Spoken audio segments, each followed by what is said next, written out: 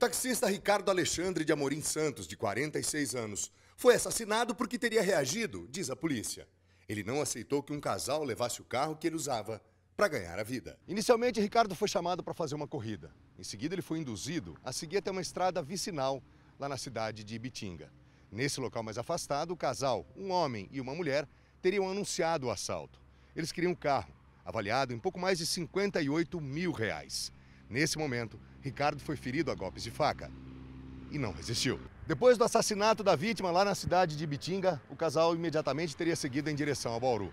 Eles rodaram 90 quilômetros pela rodovia Bauru-Iacanga, só que um pouco antes da entrada na cidade, eles acessaram essas vias marginais e a partir daqui, desse ponto onde nós estamos, eles começaram a deixar rastros, pegadas, já identificadas pela polícia.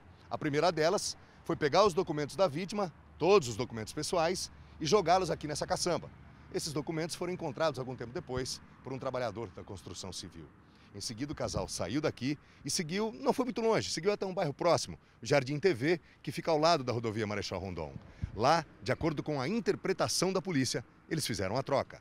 O carro por entorpecentes. Um trabalhador de uma construção civil havia localizado dentro de uma caçamba vários documentos, né? documentos pessoais, cartões de visita, e pelos telefones que estavam no cartão, ele fez um contato, imaginando que a pessoa poderia ter perdido o documento ou ainda ter sido vítima de algum crime, né? E entrou em contato. E, para surpresa dele, é, familiares disseram que aqueles documentos pertenceriam ao taxista morto na, na noite anterior na cidade de Bitinga.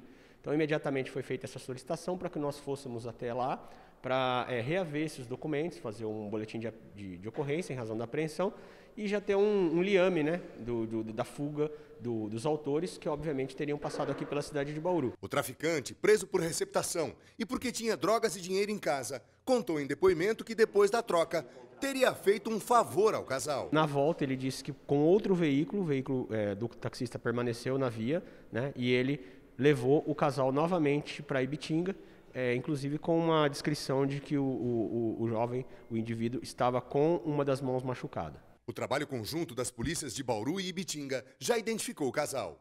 Eles podem ser presos a qualquer momento. A contribuição da, da DEIC foi no sentido de recuperar o veículo, né, angariar provas para o esclarecimento efetivo do delito e esperamos que nas próximas, próximas horas, se Deus quiser, esse casal seja preso por esse bárbaro crime. Né? E foi preso. O casal foi encontrado, de acordo com as informações passadas pelo traficante, o primeiro preso aqui em Bauru.